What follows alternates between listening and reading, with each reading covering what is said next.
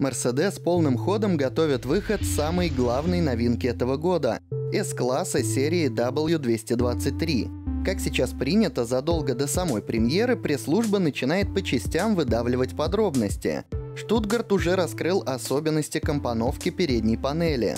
Если раньше центральный тачскрин и панель приборов представляли единую плоскость, то теперь это будут два отдельных дисплея. Вдобавок, будущий S-класс получит медиасистему следующего поколения. Управление большей частью функций, включая климат-контроль, будет переложено на сенсоры. Благодаря тактильной революции салон потеряет 27 физических кнопок. Параллельно вырастет число экранов. Загибайте пальцы. Центральный дисплей — это раз, панель приборов — это два, пара экранов на спинках передних кресел — это три, и, соответственно, 4 плюс съемный планшет и проекционный дисплей. Следующая часть подробностей касается ходовой и безопасности. По первому пункту заявлено полноуправляемое шасси. Клиент сможет заказать либо умеренный вариант, когда задние колеса поворачиваются на угол больше 4 градусов, либо с доворотом на 10 градусов. В итоге длиннобазная версия сможет развернуться на небольшом пятачке радиусом лишь около 5 метров.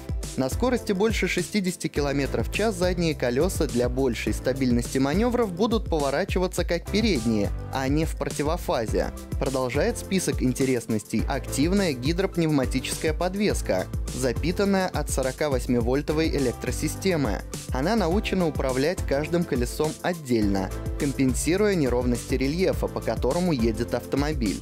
Кроме того, хитроумная система готова приподнять кузов за долю секунды до бокового столкновения. В этом случае силы удара во многом примут пороги и днища, что снизит риски получения травм пассажирами. И, наконец, подушки безопасности. Их будет много, так как для пассажиров второго ряда появятся фронтальные аэрбэги. Плюс между креслами переднего ряда будет установлена центральная подушка. Она отделит водителя от пассажира. О моторах мы знаем только то, что старый двигатель V12 еще поживет, но костяк гаммы составят рядные шестерки из современного модульного семейства. Следующую серию подробностей ждем через пару недель.